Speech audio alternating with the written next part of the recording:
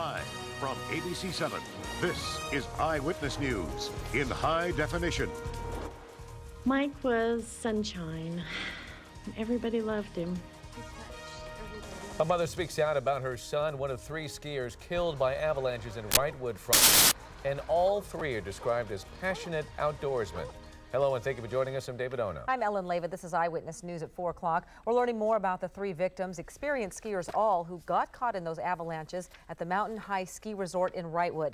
Eyewitness News reporter Gene Gleason is there live, and he spoke with one of the families of the skiers. Gene?